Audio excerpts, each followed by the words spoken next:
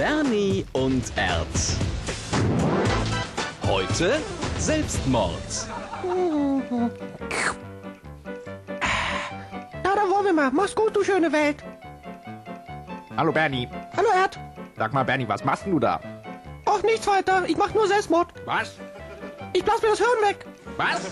Was, was, was? Ich will mir die Fresse wegballern, die Birne durchpusten, die Murmel wegpölen, den Hals liften, kapiert? Und jetzt verpiss dich! Oh mein Gott, Bernie, aber warum willst du das denn tun? Ach, Erd, mir war einfach langweilig und da dachte ich, ich erschieß mich mal.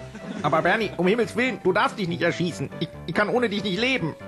Wieso? Naja, dann habe ich ja keinen Freund mehr. Ui, Keinen mehr, mit dem ich reden kann. uh, Niemanden, mit dem ich mich besaufen kann. Oh, wie traurig. Niemanden, den ich ficken kann. Du weißt doch, wie ungern ich mir allein einen runterhol. Oh ja, das weiß ich, Erd. Ohne dich werde ich so traurig sein und den ganzen Tag nur heulen.